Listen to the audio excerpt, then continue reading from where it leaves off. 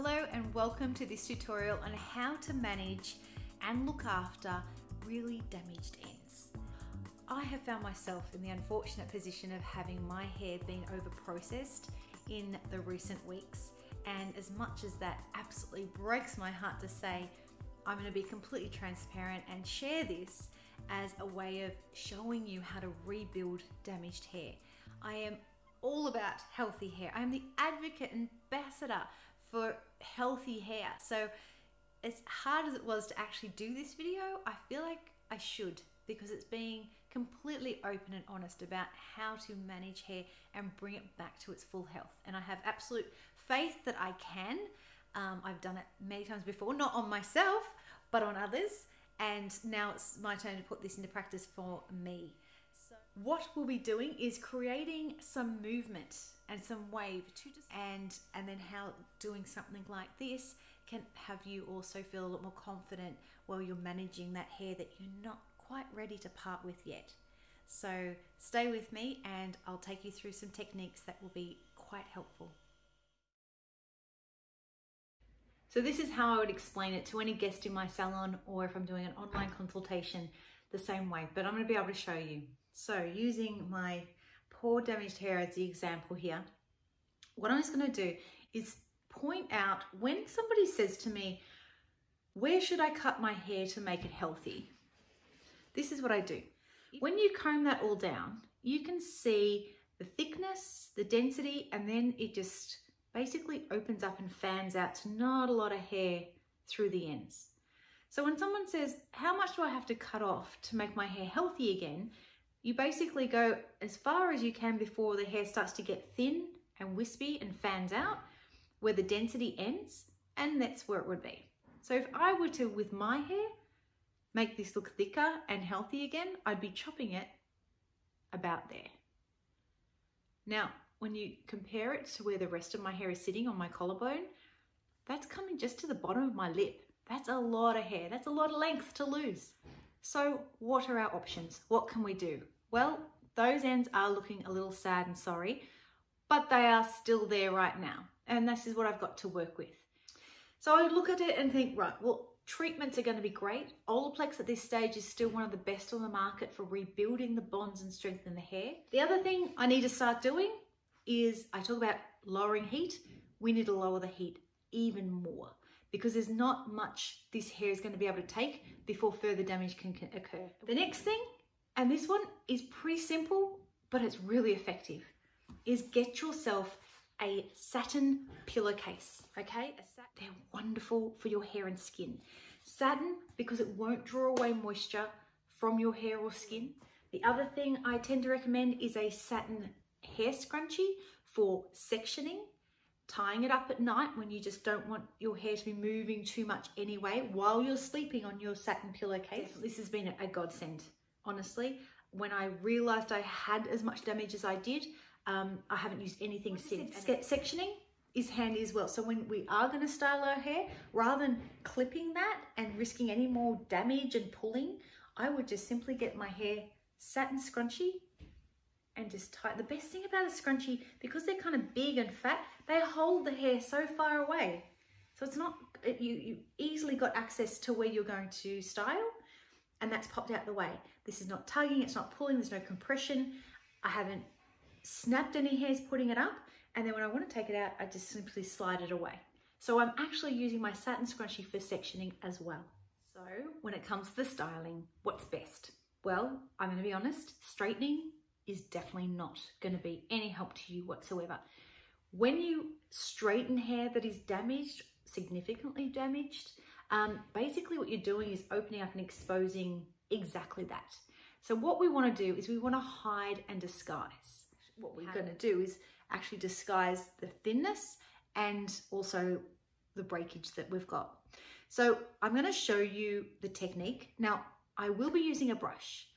I don't want to use straighteners at all. If you have straighteners and you find that's easier to create a shape, a wave, a curl, what have you, and you need a straightener that you can control the temperature of, and honestly, keep it at 140, not higher.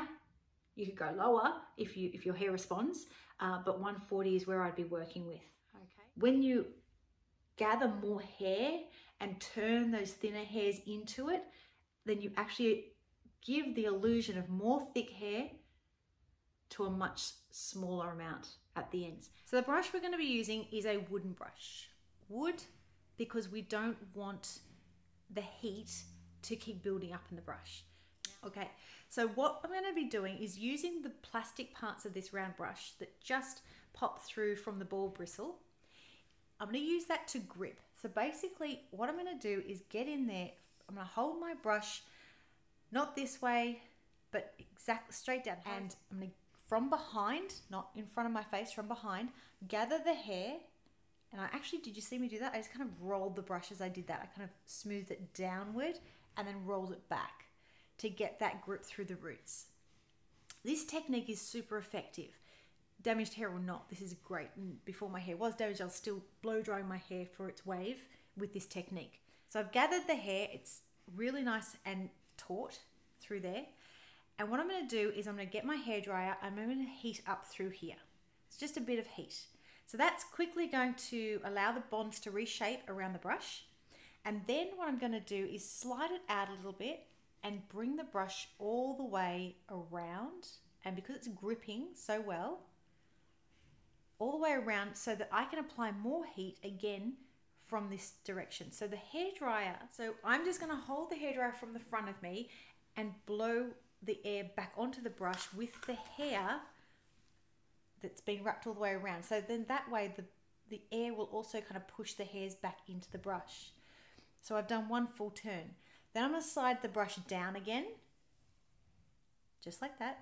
Bring it all the way around. I don't want to add any air at this point because I'll just blow the hair out of the brush. Bring it all the way around. Don't worry about these ends. And we're going to apply more heat here. So the whole time we're actually creating this coiled hair at the top.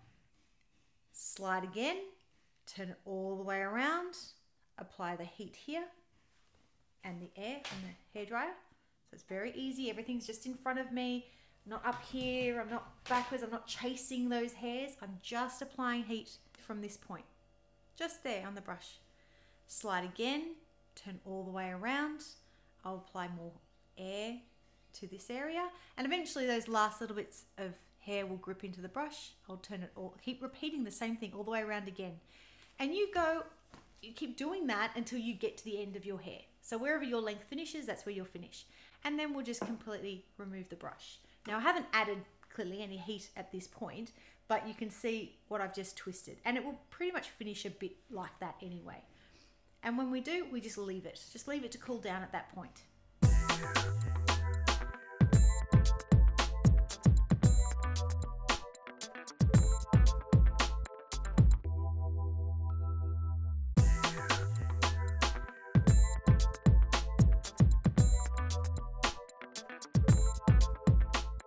If it looks like that, you've done it right. It doesn't look like the curl you would get after using the straightening iron. It's pretty tight and twisted and that's exactly what I want and it's still quite warm. So I'm just going to let that cool while I moved on to the next section. Now don't worry if there's some bits that didn't quite get in there or we can use that on the other side anyway. It's no big deal.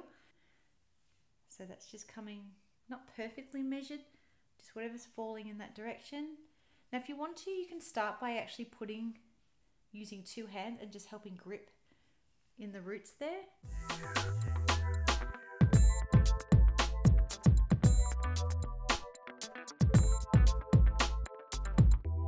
Our second little twist. So looking a bit dreadlocky. It's okay. Now we're at the wider section. So once we get to the top of the ear, this is where our, our difference between the top of the head and then it goes obviously down behind. The sectioning can go all the way down behind the ear. This gets quite long and that's a lot of hair trying to get into a brush and you won't be able to do it. So at this point is where you can section that. Now another little tip for this technique, I rarely do underneath. It takes a while to do. Now if I was going out somewhere special, then yes, I'm going to do every section of my hair.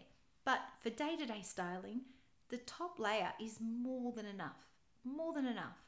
So I'm not going to worry about underneath and I'm just going to continue a similar kind of depth between here and where we got to at the front of the ear. And I'm just going to leave underneath, okay? So you can section it off first or you can just go straight in there and uh, you can tip your head over and gather it. But we're just going to keep going with that same technique. So brush, I'm doing my left side of my head. I'm using my left hand with the brush, right hand with the hairdryer. And here we go. Okay, so some of the hair fell, that, fell out there. Don't stress. What I would do there is just get more grip at the roots. So just repeat the roots again. Once the bonds start to take the shape of the brush, you won't have any problem gripping that. So it just means you need to go again at the roots and then you'll find it will follow through the following time. Or maybe the time after that. It doesn't matter. As many times as it takes.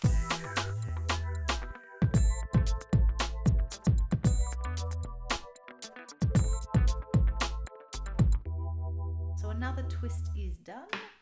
Let it cool. Don't rush the process. We're going to do three sections on this side and then I'll show you how this looks when we, we run our fingers through it. So again, we're going to gather and twist. I have changed hands. So I have now on my right side, brush in right hand, hairdryer on the left.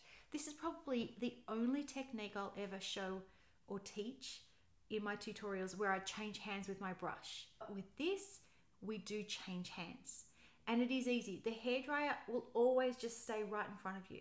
There's there's nothing like I said. You don't have to chase the hair at all. It just stays right in front of you, and the hand you're using with the brush will also repeat the same technique.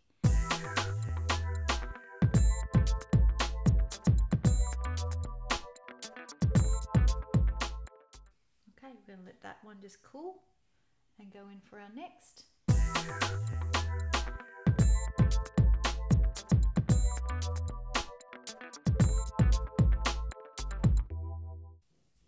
These sections aren't perfect, but this is the beauty of the hairdryer and the brush is it doesn't have to be. It's very forgiving and it's going to look amazing you watch when we're finished.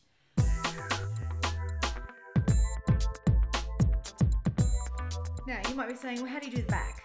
The back is no different. If this is the middle of our head here, I would just keep working exactly the same way as I start at the front as I go as far back as I can. I still, the same thing, I still grab it from the roots, heat up at the roots there with the hairdryer, grab and twist, and everything still stays in front. Yet you'll find that the last section you can get on this side will be the other, the last part of the back, and you're spinning it all the same way. So once we've finished all those little coils and they've cooled down, I have here a texturizing spray just for a little bit of fattening up. Basically, when you've got damaged ends that are looking very thin, fattening up can be great. There is another thing that you can use is a, a powder. So there's all kinds of varieties of these and that can also help fatten it up a bit. However, I find that the aerosol one I have here is just a little lighter and it will give me something to work with the next day and hopefully the day after that as well. So I'm just going to spray, pick up each little coil.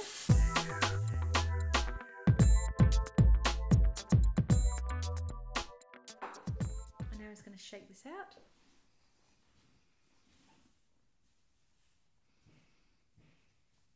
Love this kind of look.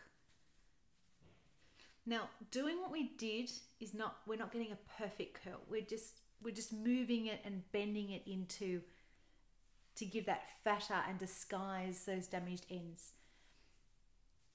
It actually shows me how bad my hair is because this is the least amount of wave I've ever got from that technique I've just showed you. But you can see it's looking a lot fuller I look forward to showing you how I go with my journey of rebuilding my hair and, and what kind of groovy styles we can create from it. Till next time, take care. See you soon. Bye bye.